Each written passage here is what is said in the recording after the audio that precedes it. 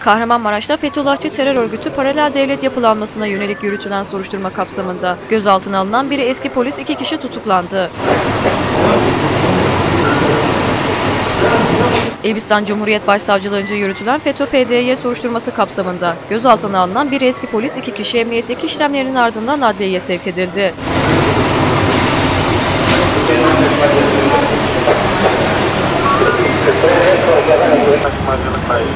Örgütün haberleşme ağı Baylok sistemini kullandığı da tespit edilen iki kişi mahkemece tutuklandı.